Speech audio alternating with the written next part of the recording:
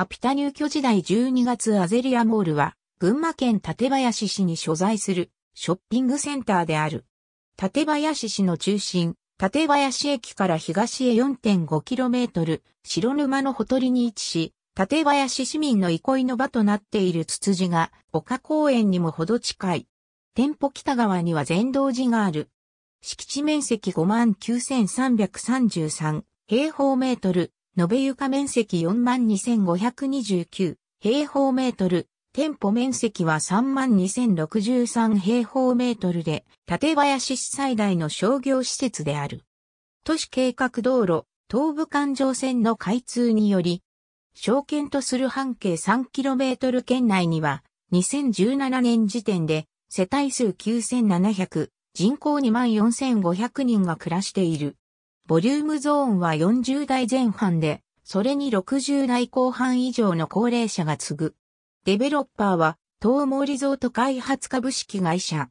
建物は A 館と B 館に分かれ、1から2階を店舗スペースとし、2階同士を渡り、廊下で接続している。A 館には、キーテナントとなるスーパーマーケット、八尾港立林アゼリアモール店をはじめ、百貨店、三越、フ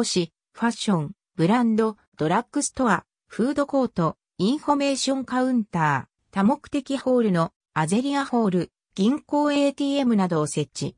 B 館には、ホームセンター、京葉 D2 立林アゼリアモール店、自動車修理店、原宿カーネットなどが入居している。テナント数は100。営業時間は各フロア、店舗ごとに異なる。詳細は公式ウェブサイトを参照。1996年に、立林つつじの里ショッピングセンターとして開業。当初から A 館の1階から2階にかけて、ユニーが運営するアピタ館林店をキーテナントとしていたが、ユニーの構造改革を延々に、同県内の姉妹店舗、アピタ笠掛店の閉店に続いて、館林店もまた2017年6月18日に閉店。一方、B 館では、ケーズ電機が店舗を構えていたが、契約満了に伴う同社佐野店への集約により、8月21日付で退店した。2017年にアピタが撤退したことに伴い、食料品、スーパー、ヤオコーをキーテナントとした現在の形へと改装した。A 館1階にヤオコー立林アゼリアモール店を誘致し、同年10月20日にオープン。2階の後フロアにはライトオンなど。11月22日には B 館に京葉 D2 がオープンし、同日をもって新しいアゼリアモールがグランドオープンとなった。公共交通機関東部伊勢崎線、立林駅もしくは東部日光線、板倉東洋大前駅より、広域公共路線バス、立林、板倉線に乗車し十数分、ないし20分間、バス停、アゼリアモール前にて下車。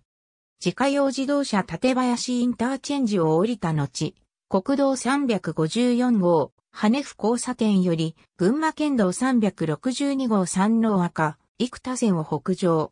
1500台駐車可能な駐車場がある。東モールは、洪水時の避難所として指定されており、有事の際は、立林市民のみならず、隣接する大良郡板倉町の住民も受け入れる。立林市が200年に一度の大雨を想定して作成した洪水時ハザードマップによると、利根川の堤防が決壊することによりあたり、モール周辺は2メートル以上5メートル未満の高さまで浸水することが予想されていることから、2階以上へ避難することが必要である。ありがとうございます。